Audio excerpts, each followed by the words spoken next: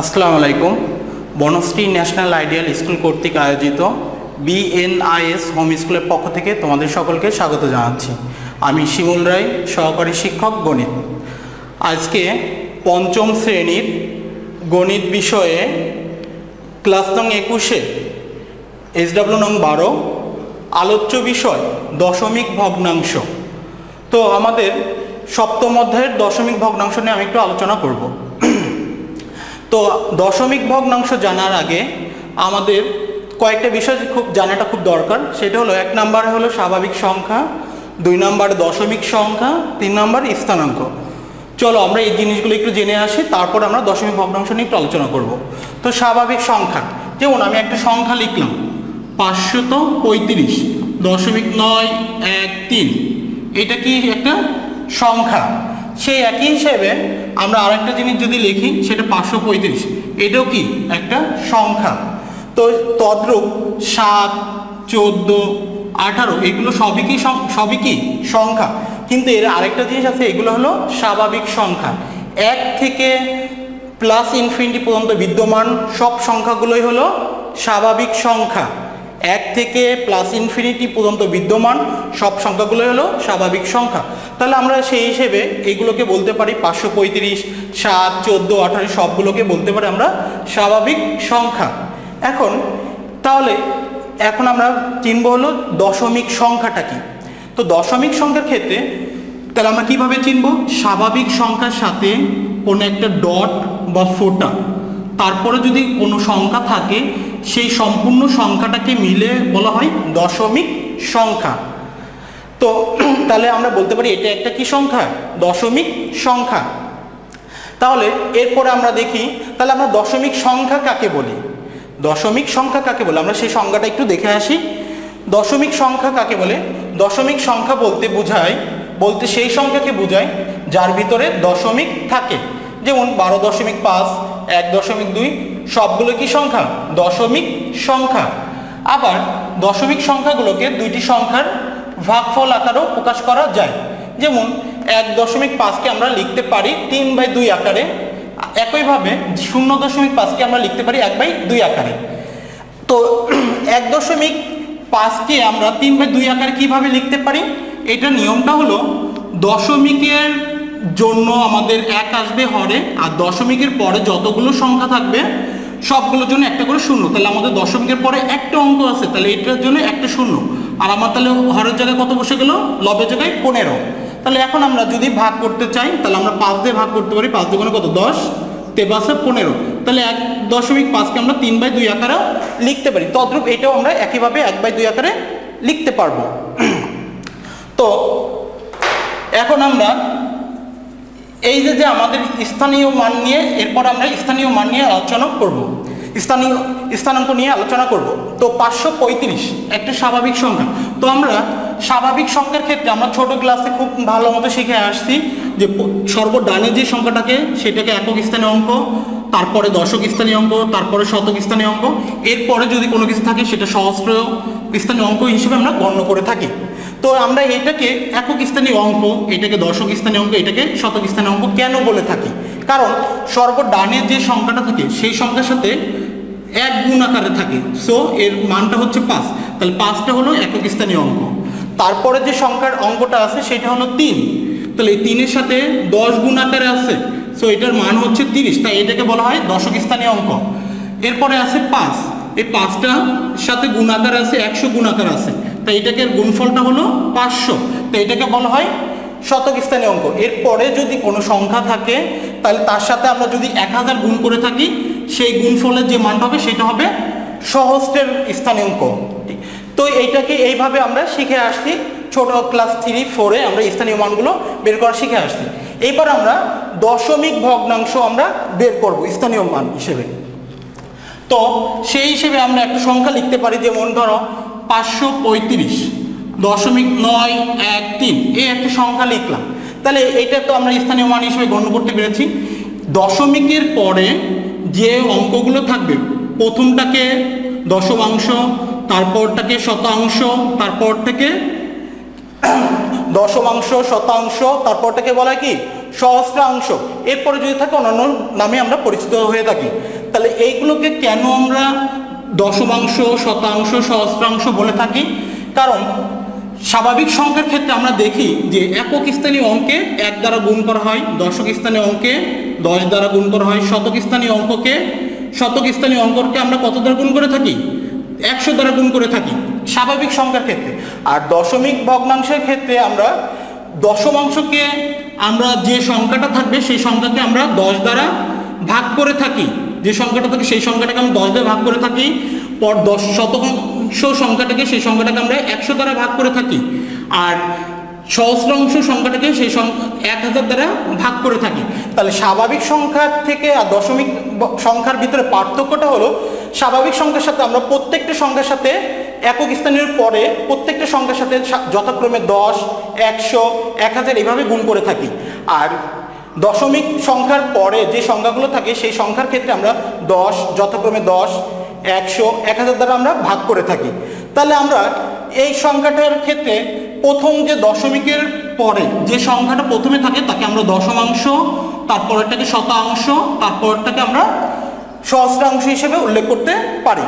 তো আর দশমিকের বাম পাশে প্রথম যে সংখ্যাটা থাকে, সেটাকে একক স্থানীয় অঙ্ক, একক স্থানীয়র পরে প্রথমটা থাকে, তারপরে থাকে দশক স্থানীয় অঙ্ক, তারপরটা থাকে শতক স্থানীয় অঙ্ক এইভাবে পর্যায়ক্রমে চলতে থাকে।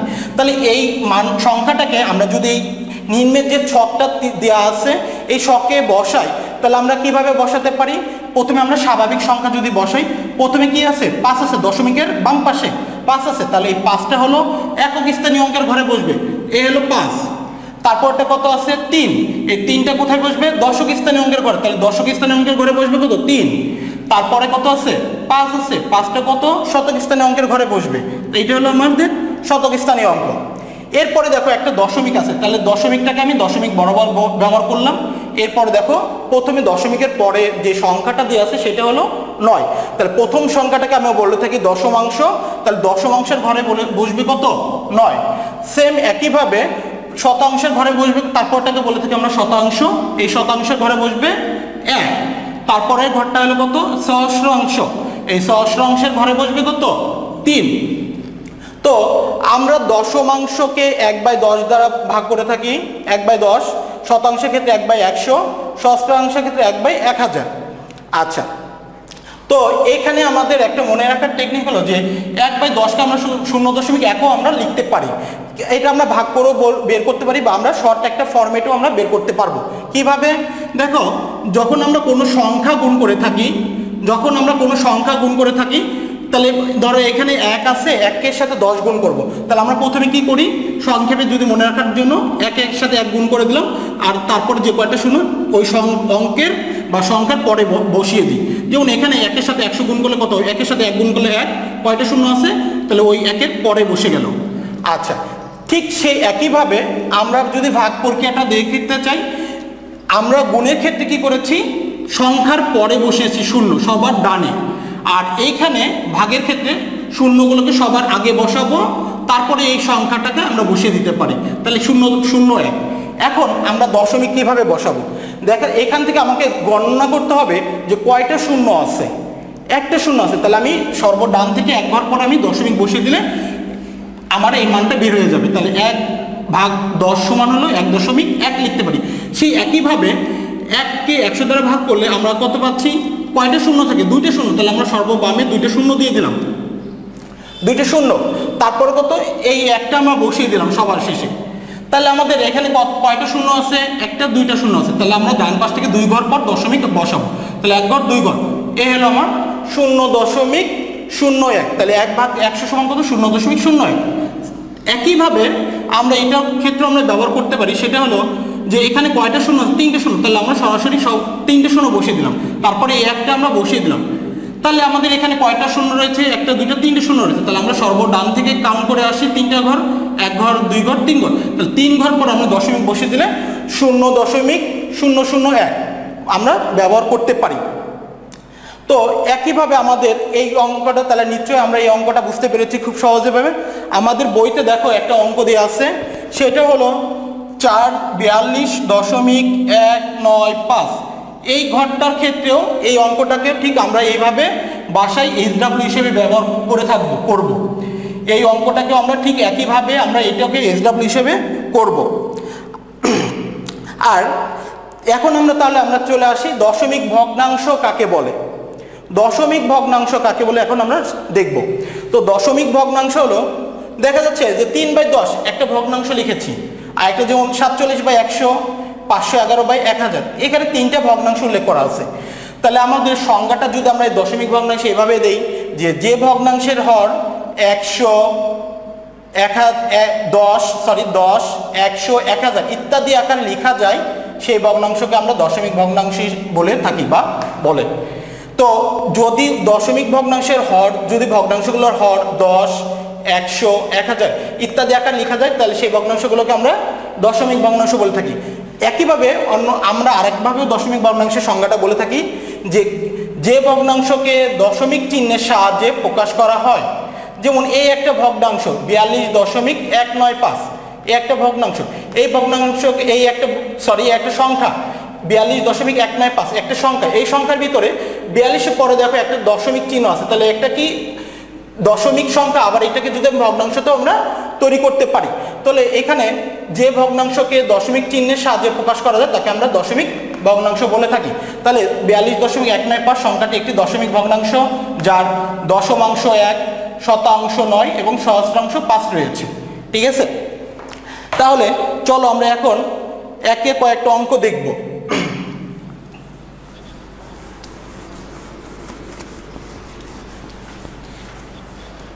আচ্ছা প্রথম অঙ্কটা। একের প্রথম অঙ্কটা দিয়ে আছে কতটি? শূন্য দশমিক এক দ্বারা দুই দশমিক এক গঠন করা যায়। এই অঙ্কগুলো করার ক্ষেত্রে, করার আগে আমি আরেকটা জিনিস, কীভাবে আমরা দশমিক সংখ্যাটা উচ্চারণ করে থাকি, সেইভাবে আমরা একটু বলে থাকি। যেমন আমরা পাঁচশো পঁয়ত্রিশ একটা সংখ্যার কথা বলি, যে নয়, এক, তিন। আচ্ছা এইটাকে আমরা কীভাবে উচ্চারণ করব? এই উচ্চারণটা আমরা একটু জেনে নিই। দশমিকের বাম পাশে যত বড় সংখ্যায় থাকুক আর যত ছোট সংখ্যায় থাকুক, সম্পূর্ণটাকে একবার উচ্চারণ করব। আর দশমিকের পরে যে সংখ্যাগুলো থাকবে প্রত্যেকটাকে আলাদা আলাদাভাবে উচ্চারণ করতে হবে যেমন, এখানে পাঁচশো পঁয়ত্রিশ একসাথে উচ্চারণ করব। তারপরে দশমিক নয় এক তিন তাহলে আমাদের এটাকে একসাথে উচ্চারণ করতে গেলে কী হবে পাঁচশো পঁয়ত্রিশ দশমিক নয় এক তিন এইভাবে আমরা উচ্চারণ করব।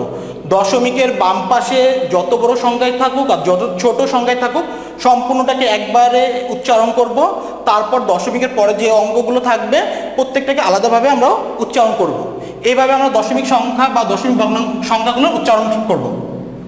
তো এখন এক নাম্বার যে প্রশ্নটা দিয়ে আছে যে কতটি শূন্য দশমিক এক দ্বারা দুই দশমিক এক গঠন করা যায় এখন তাহলে আমরা যদি এখানে শূন্য দশমিক একটা লিখলাম আর দুই দশমিক এক লিখলাম, এখানে দুইটা সংখ্যা লিখেছি, শূন্য দশমিক এক আইটেল দুই দশমিক এক তো আমাদের প্রথমে এই অঙ্কগুলো করার ক্ষেত্রে আমাকে প্রথমে ফলো করতে হবে যে দশমিকের পরে কয় ঘর আছে?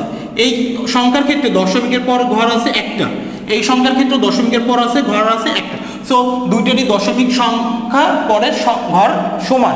তাহলে আমি যদি এই বড় সংখ্যাটার থেকে দশমিকটা যদি আমি বাদ দিয়ে দিই, তাহলে আমাদের কত আসতেছে? একুশ।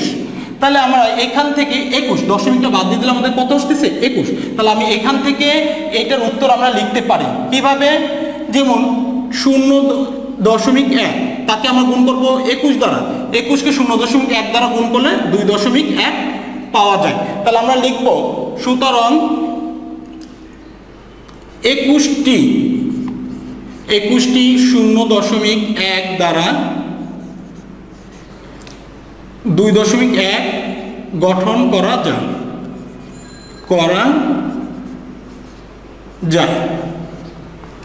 তো এইটার উত্তর হলো একুশটি।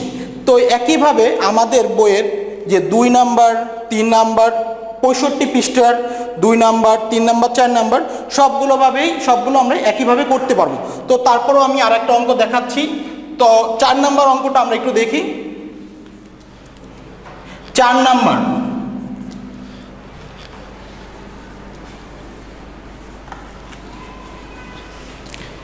চার নাম্বারটাই ছিল শূন্য দশমিক শূন্য শূন্য এক। কতটি এত দ্বারা? বিয়াল্লিশ দশমিক এক নয় পাঁচ। গঠন করা যায়। তো একইভাবে যদি আমরা এই অঙ্কটা করতে চাই, তাহলে আমাদের প্রথমে লিখ, দেখলাম যে শূন্য দশমিক শূন্য শূন্য এক আর বিয়াল্লিশ দশমিক এটা জাস্ট আমরা রাগ করার জন্য উল্লেখ করছি। এটা আমরা লিখব না পরীক্ষার খাতায়, আমরা সরাসরি অঙ্কে চলে যাব। এটা আমরা রাগ জাস্ট বোঝানোর জন্য আমরা লিখলাম খাতায়। তো এখানে দেখা যাচ্ছে সেম একইভাবে দশমিকের পরে এখানে তিনটা ঘর আছে। এক ঘর, দুই ঘর, তিন ঘর আছে। এইটার ক্ষেত্রেও দশমিকের পরে এক ঘর, দুই ঘর, তিন ঘর আছে, তিন ঘর আছে। তাহলে উভয় ক্ষেত্রে দশমিকের পরে ঘর সংখ্যা সমান। তাহলে এইখান থেকে আমরা যদি এইটার বড় সংখ্যাটার যদি দশমিকটা এটা বাদ দিয়ে দিই, তাহলে আমাদের কত আসছে? বিয়াল্লিশ হাজার একশো পঁচানব্বই। তাই আমাদের বিয়াল্লিশ হাজার একশো পঁচানব্বইকে এটা তাহলে আমরা তারপরে আমরা এটা মুছে দিলাম যে বিয়াল্লিশ হাজার একশো পঁচানব্বই গুণ শূন্য দশমিক শূন্য শূন্য এক। সমান সমান কত? বিয়াল্লিশ দশমিক এক নয় পাঁচ। তা আমরা লিখতে পারি যে সুতরাং বিয়াল্লিশ হাজার একশো পঁচানব্বইটি শূন্য দশমিক শূন্য শূন্য এক দ্বারা বিয়াল্লিশ দশমিক এক নয় পাঁচ গঠন করা যায়। এইভাবে আমরা সবগুলো অঙ্ক, এই নিয়মে সবগুলো অঙ্ক আমরা করতে পারব। তো পঁয়ষট্টি পৃষ্ঠার যে এক থেকে চার পর্যন্ত যে অঙ্কগুলো আছে, এগুলো সবাই বাসায় এইচ ডাব্লু করে স্কুলে জমা দেবে। আমাদের এইচ ডাব্লু নং কিন্তু বারো, ঠিক আছে? C W two H W তদ্রূপ একইভাবে আমাদের অনুশীলনীর সাতাত্তর পৃষ্ঠার সাতাত্তর পৃষ্ঠার একের যে তিনটে অঙ্ক আছে, এই তিনটে অঙ্কও আমাদের একই নিয়মের সো এগুলো আমাদের এইচডাব্লিউ হিসেবে থাকবে। তো আমাদের আজকের ক্লাসটা নিশ্চয়ই তোমরা খুব ভালো মতো বুঝতে পেরেছ। তারপরও যদি তোমাদের এই আজকের ক্লাস নিয়ে কোনো সমস্যা থাকে, তাহলে আমাকে সরাসরি এফবিতে নক মেসেঞ্জারে নক করতে পারো। আমার এফবি নাম এটা, আমার নাম দিয়ে খোলা আছে, আমার মোবাইল নাম্বার দেওয়া আছে। যদি কোনো সমস্যা হয় ক্লাস বুঝতে বা কোথাও সমস্যা হয় অঙ্ক করতে, আমাকে আমার ফোনে বা মেসেঞ্জারে নক করলে আমি অবশ্যই তোমাদের সলভ করার চেষ্টা করে দেব। তো আজকে এই পর্যন্তই। তো নেক্সটের কোনো একদিন নতুন কোনো আল টপিক নিয়ে তোমাদের সামনে হাজির হব। সেই পর্যন্ত ভালো থেকো। আল্লাহ হাফেজ।